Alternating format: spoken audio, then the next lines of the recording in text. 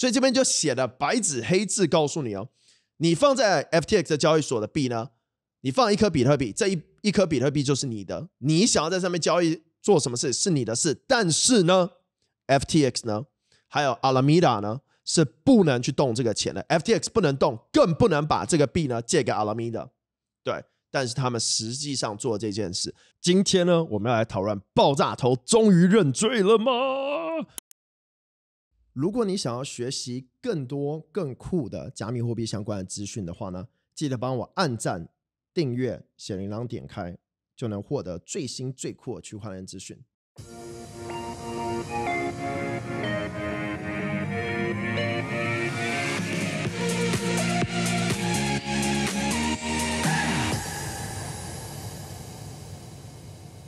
嘿，大家好，欢迎来到区块先生 Crypto 节目。今天呢，我们要来讨论爆炸头终于认罪了吗？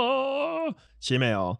他在这个 Twitter Space 里面呢，大概承认了他的一些罪行哦。但是呢，啊，他是被调出来讲这个事情了，就是一样是 Coffee Z 了。所以说真的，大家如果想了解，SB 很多事件的话，我真的建议大家可以去看 coffeezila 的影片，他每一集都很猛哦。然后呢，真的是剪辑剪得非常好。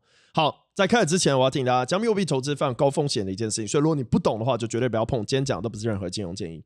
Cryptocurrency investment is really high risk, so if you don't understand it, please don't touch anything said today. is not a financial advice. 好，那我们就直接开始吧。但是在开始之前，我们先看一段 Coffee Zilla 这边 PO 的这个图哦，就是呢。这个呢，其实是 FTX 呢啊，它的用户啊的这个条约的其中一段呢。他这边写说，All digital assets are held in your account on following basis，就是说你所有的加密货币呢都是在你的账号里面，然后有这些这个规则哦。然后他这边讲说啊，Title to your digital should at all time remain with you，就是说你拥有的这个加密货币呢都是属于你的，在任何时时间。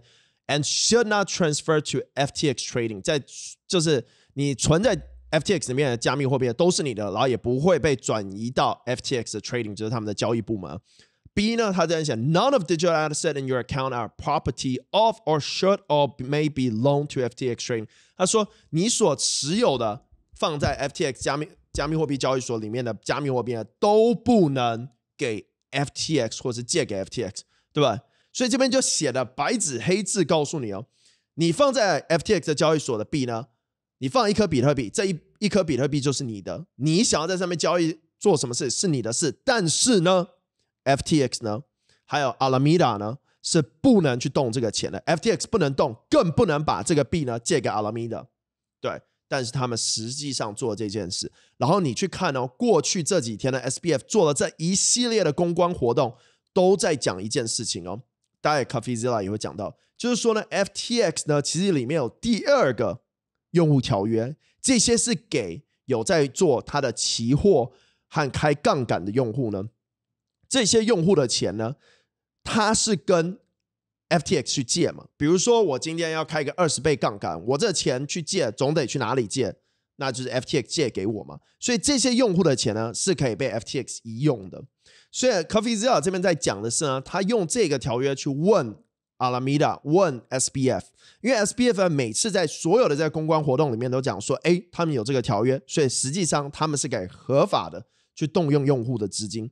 但是呢，这里面用户有分很多种嘛。如果你的阿公阿妈只是放个一颗比特在里面，也没有去用你的期货，也没有用你的期权，没有开杠杆，没有开合约，那你就是不能动嘛。那这些人为什么会被动到？另外一点呢？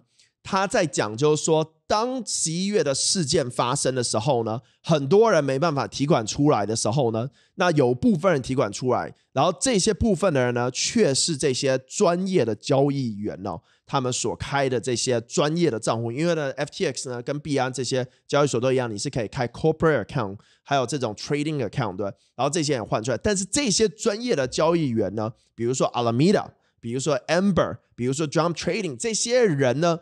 本身用这个平台呢，就是开杠杆，就是做这些多头的策略，对吧？跟这些普通只是在那边存币赚个年化率用户是完全不一样的。所以你不能把这些人放在同一个地方，应该呢要先让散户可以正常的出来，正常的出去，因为他们没有在上面开杠杆这些的。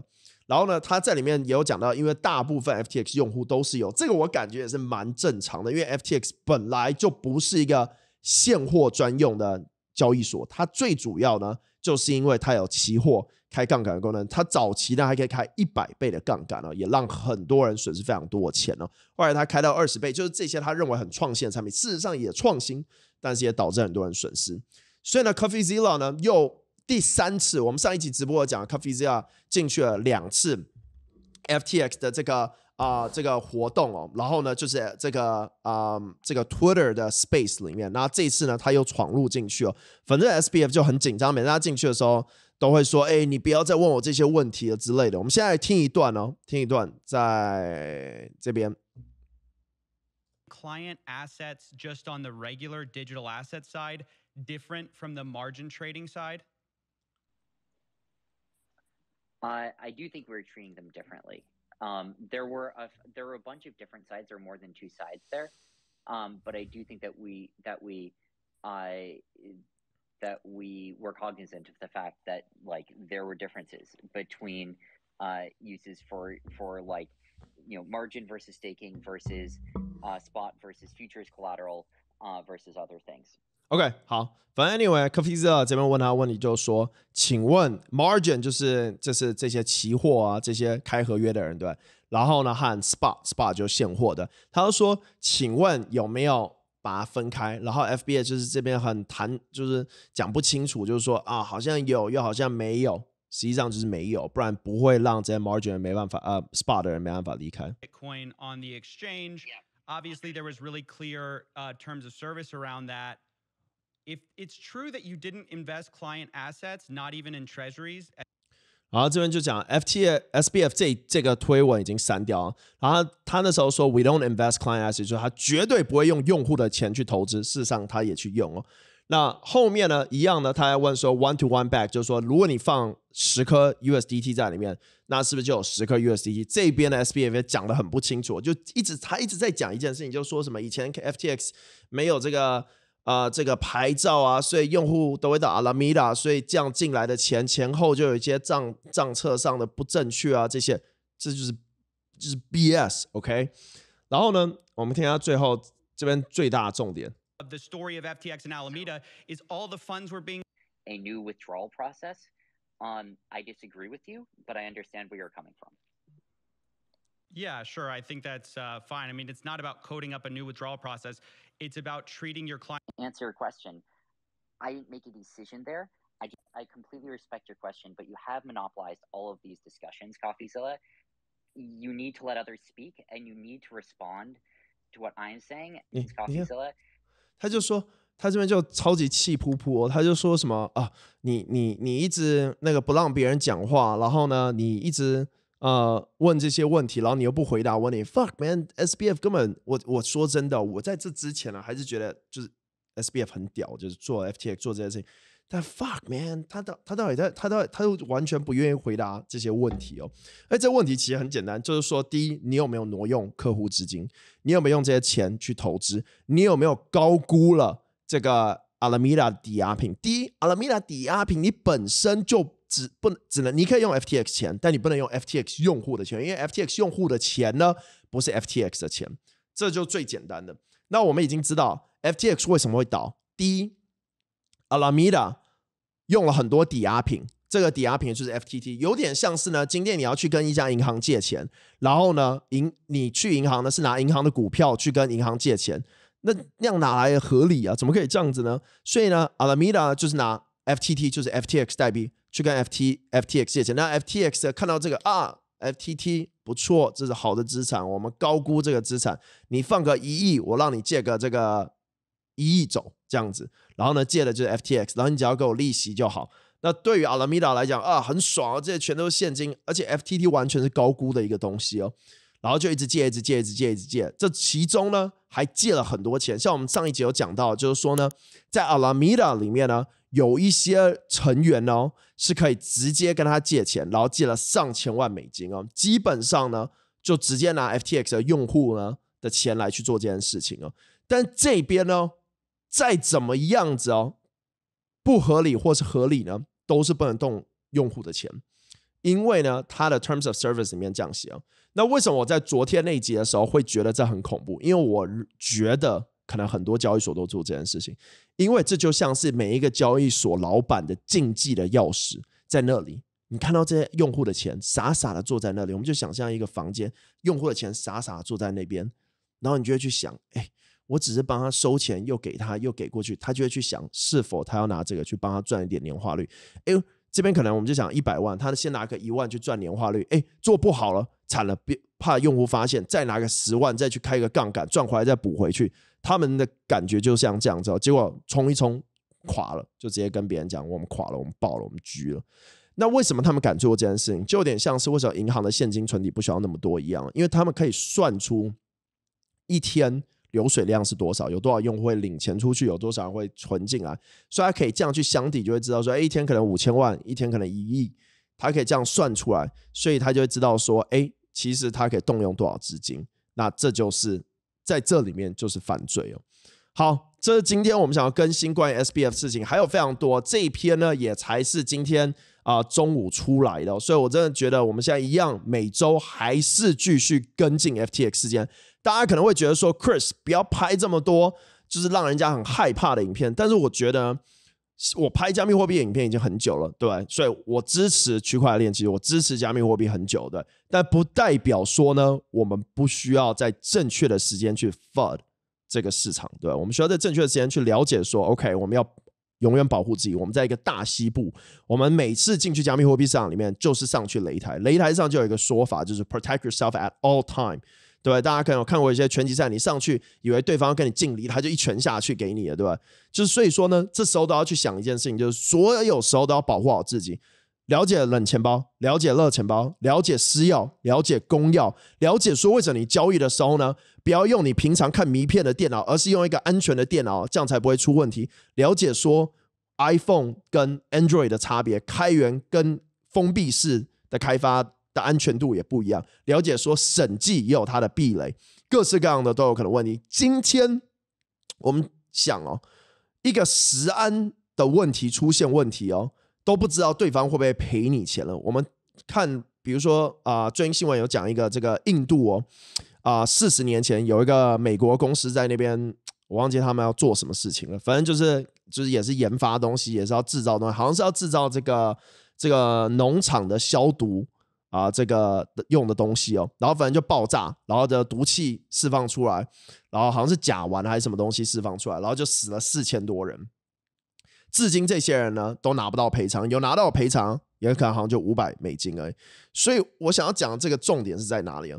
就真正的能做就是保护自己。对我觉得大家会去看，不管是这个金管会，或是呢我们看到是政府，或者我们看到银行这些的，我觉得每一个人都有他利益的这个原因，他要做事情的原因哦。那真的我们去想哦，今天。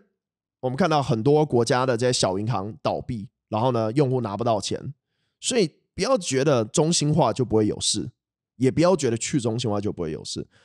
最能保护自己的方式呢，就是你要学习更多，了解这市场呢，都是以你为敌，有点像这样子。那以这种情情况去想的时候，就会知道要如何去保护自己了。对，比如说你在银行开账户好了，你不要。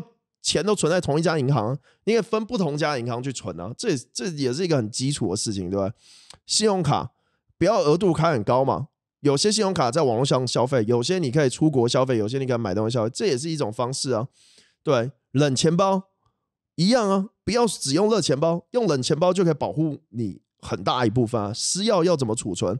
对，可以把它放在银行的保险箱，可以把它放你家保险箱，或是去买一个这个存私钥的东西啊。然后电脑怎么用？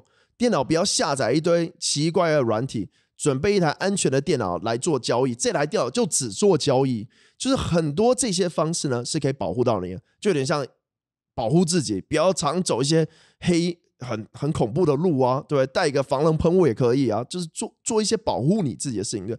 所以我觉得在这个市场里面，很重要的就是要保护自己，不管是在加密货币，不管是在中心化，对银行啊这些的，或是设置股票这些事情，设置于我们刚刚讲食安问题一样，对吧？说你吃的东西也要去研究啊。所以我觉得很多时候真的就是要告诉自己，就是多研究，去了解你所做的任何事情哦。然后永远要了解，就是风险提示不是只是这样讲，真的要听到就了解说，OK，我要去学更多。这也是为什么我们每天都在追踪 FTX 的事件了，因为从中我们会拆丝剥解后发现，这其中怕的不是说哎 FTX 是倒了，而是它的连锁效应告诉我们说，有多少中心化机构也有可能问题。